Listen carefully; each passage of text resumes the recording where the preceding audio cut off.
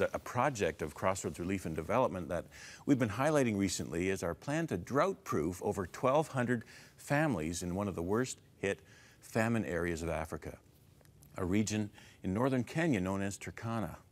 We led a work team of 13 Canadians there recently, and we're joined now by a couple who were part of that team, Matt and Kristy Sawatzky. Welcome. Thank you. Welcome, guys. So I have to ask you the obvious. You're a young couple with a growing family. Why did you get involved with this project?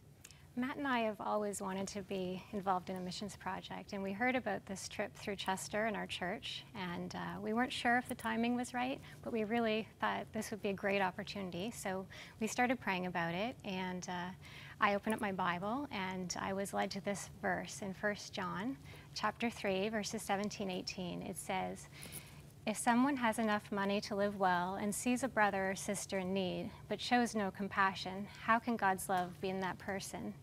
Dear children, let's not merely say that we love each other, let us show the truth by our actions. Mm. So when I read that, I knew that this was the right time for us, and everything else just fell into place. Wow.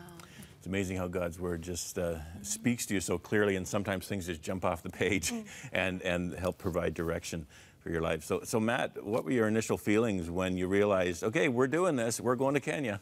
Uh, I was a bit nervous. I had yeah. uh, anxiety start to set in a little bit. Um, this was our first mission trip, like Kristy said, yeah. and uh, so far away, all the way out to Kenya. And uh, we were going to be leaving our three kids at home. So mm-hmm. it was tough, and, and, and home, and all the comforts of our home as well. Mm-hmm. So, um, but that anxiety and the nervousness, it went away when we, when we got there and yeah. started working with the local people and uh, just seeing how determined they are to uh, start growing food. Right. Um, so how long was the missions trip? How long were you away from your family? We were away for 15 days, and we were in Turkana for 10. Okay. Yeah, lots of travel. Mm. Yeah. Yes. Yeah, it's a long ways. It is. well, let's go to Turkana, and let's have a look at the, the compound itself, and you can uh, let us know what we're looking at here. Yeah, so this is a training facility, or we called it the compound.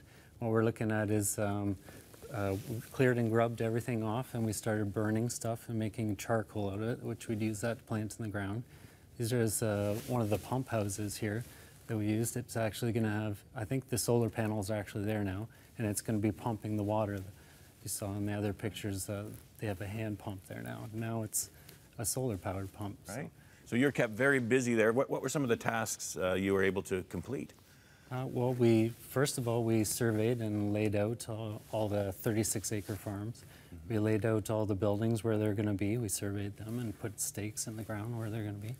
Um, we put up the shade structure for the new plantings. Planted some trees. Um, so that's the shade. Uh, yep, that's the shade. I guess with, with, desert conditions and the sun, you, you have to do that for plants to grow properly. Right. right yeah. yeah. So, Kristy, I want to ask you, what were some of the uh, challenges you faced by living and working in the extreme desert conditions? Well, we expected to be working in the heat, but what we didn't expect was the rain.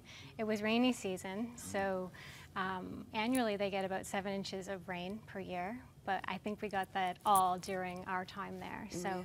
there was a lot of flooding, and um, it affected our work, like the shade structure and um, threatened that. So when uh, we first saw the heavy rains come, we uh, all worked together as a team. It was the one thing that we did all together as a team and pitched in because the next day the rains came again.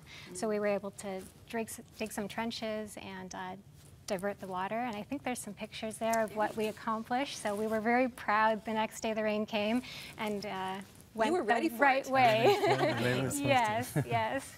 Wow. Talk about streams in the desert. Yeah. There you go, yeah. Uh, now, there's a lot to the, the project because there's the solar powered wells, uh, there's the garden plots, and that, you know, wanting to drought proof over 1,200 families, and we're, and we're getting there step by step. And this, this missions team was an important part of, of getting there. But, Matt, what, what experience uh, had the most significant impact on you personally? Mm. Oh, definitely it was working with the local children yeah. Um, seeing how eager they were to help out. In particular instance, we had to survey the first couple days, and uh, we were out there surveying, pounding in the stakes, and the kids would follow us. The kids were very eager to help out. Um, and I had misplaced the hatchet uh, that I used to pound in the stakes, and I thought for sure our team had it, and they had misplaced it. So I sent the team away to go find the hatchet, and uh, it was just me and the kids left. And I asked the kids, "Have you seen the hatchet? Have you seen the hatchet?" They couldn't understand English. No, there's there was one person that spoke English there, um, but they all started to get together and started to chant. I said, "No, have you seen the hatchet?" So they all got together and started dancing and singing and clapping. And you got video of that. I got video here, yeah. This is actually a reenactment. This is the next day when Kristy and I came out to the site.